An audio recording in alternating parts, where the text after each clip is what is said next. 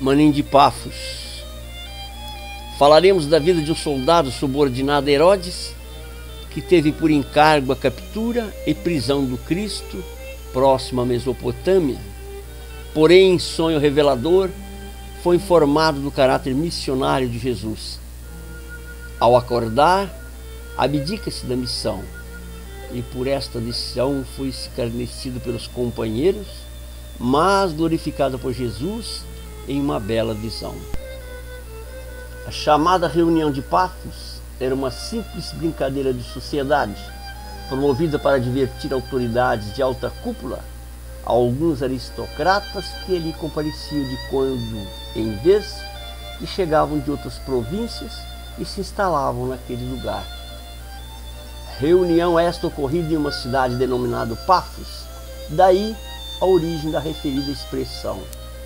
E naquela oportunidade conversavam e se decidiam altos negócios da corte do rei, se procurava saber notícia do povo e do que pensavam a respeito do rei Herodes, que dominava toda aquela região.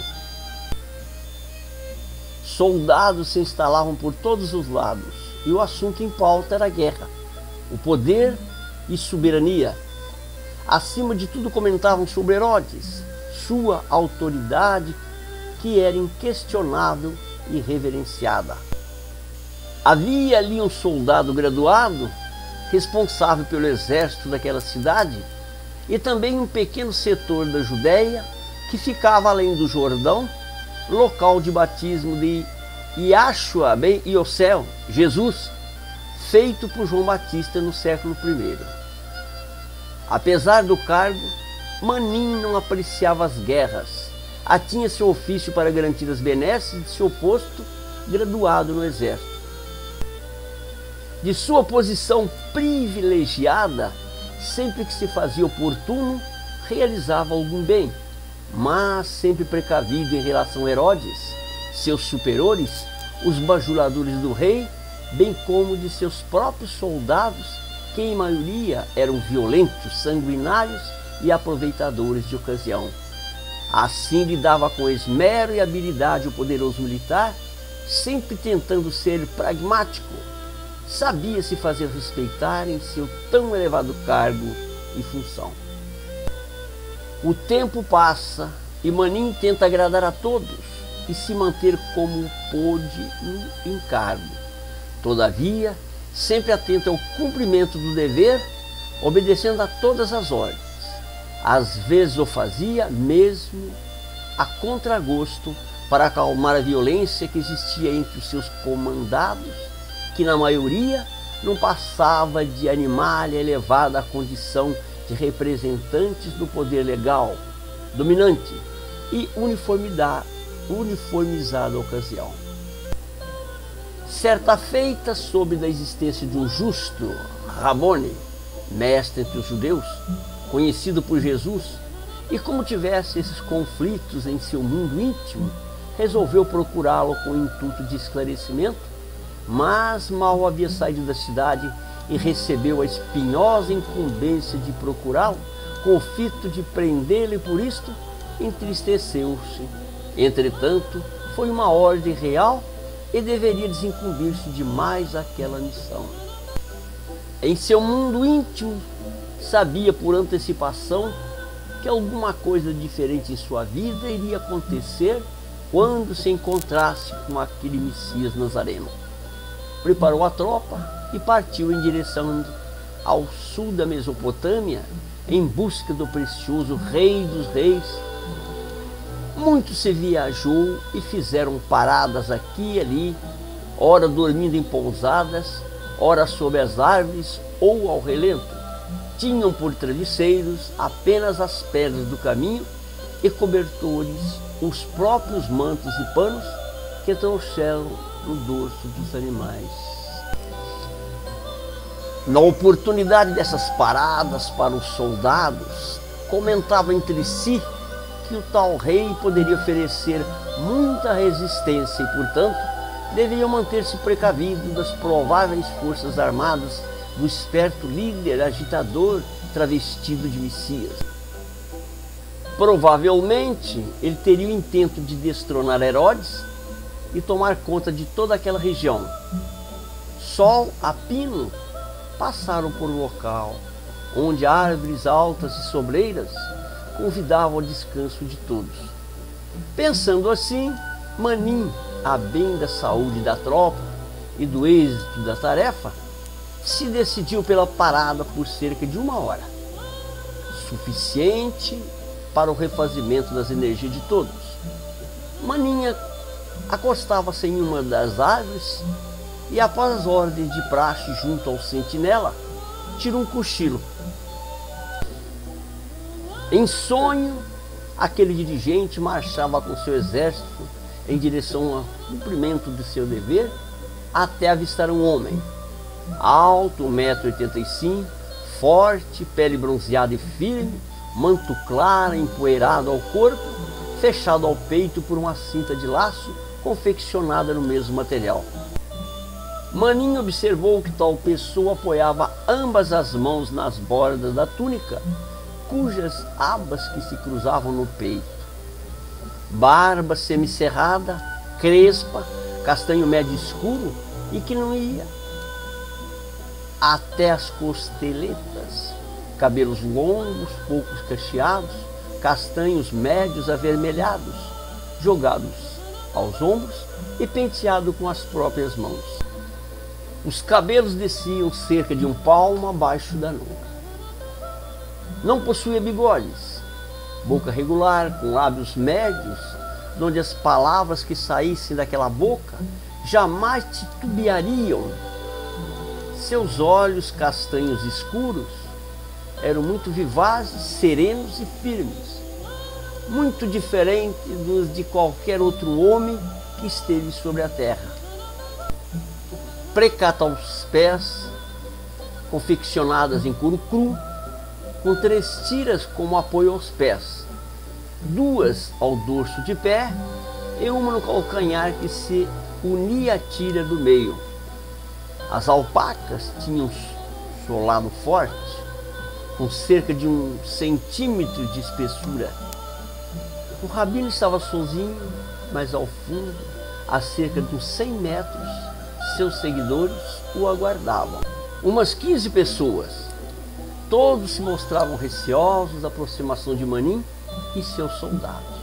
Enquanto o exército se aproximava, o pregador abaixou-se, tomou de alguns minúsculos cascalhos e os espalhou à sua frente, como quem os houvesse escolhido e distribuído parcimoniosamente.